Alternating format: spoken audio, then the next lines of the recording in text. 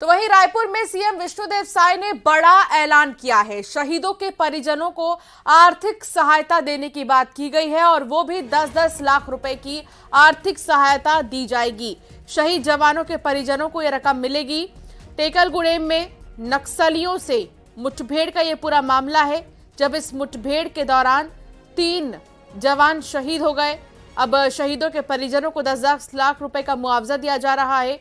अतिरिक्त सहायता के रूप में ये रकम मिलेगी।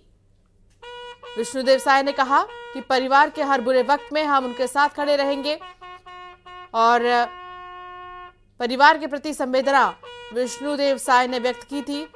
अब एक बड़ा ऐलान उनका, टेकलगुड़ेम में।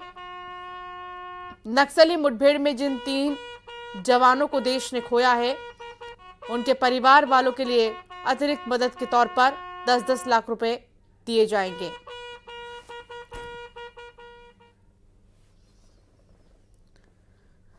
तो वहीं वीडी साय कोरिया के दौरे पर हैं और इसी के साथ उन्होंने बजट पर अपनी प्रतिक्रिया रखी है। मुख्यमंत्री ने कहा कि बजट में मुख्य रूप से महिलाओं, अन्नदाताओं पर फोकस किया गया है। मध्यम वर्ग के लिए आवास योजना का विशेष प्रावधान किया गया है। हम स्वयं उनसे जाकर मिले हैं और आज भारत सरकार का, आदरणीय मोदी जी का अंतरिम बजट प्रस्तुत हुआ है और इस बजट में मुख्य रूप से हमारे देश की महिलाओं, अन्नदाताओं, युवाओं और गरीबों पर विशेष फोकस किया गया है।